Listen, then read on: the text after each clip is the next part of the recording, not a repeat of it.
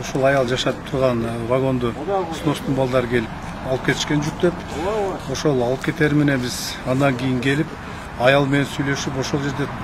жатакана жайгашкан райымбекова төртүнчү үйдө ошол жерден үчүнчү этажынан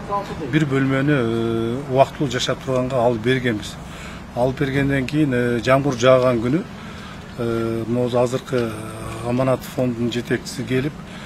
кайрадан сыртка алып чыгып ошол жерге жаткызып интервью алгандыгы бул анык. Биз үч күндөн бери ошол аялдын жашоо шартын наркы беркисин изилдеп ошол жерге жакшы шарт түзүп берели үйүнөн дагы башка жерге жайгаштырайлы деп жүргөнбүз. Азыркы убакта ал жерге жашабайм деп дагы бир ошол аманат фондунун жетекчисин чакырам деди. Иши кылып ал жерге жашабайм деп баш тартуу менен кайра көчөгө чыгып алган жеринен кайрадан карасуский отуз алтынчы үйдүн бир комнат бөлмөгө жайгаштырды ал жердеги жашоо шарты жакшы туалет отдельный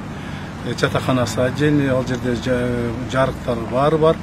Анан эң негизгиси кышка ал жерге тесттен жылуулук өзү берилет от жагуу печке куруу деген ал жерде жок мен ошо жашап аткан вагонду мыйзамсыз деп сноско алып кетти анан мына эмен биздин аймактын ишчилери гүлшайыр эжеке квартальныйыбыз анан жанбек чокоевичтер ошо алып келип основной ушу гүлшайыр эжекеге рахмат ошо алып келип ушул жерге жайлаштырды жылуу суулар бар экен отопление бар экен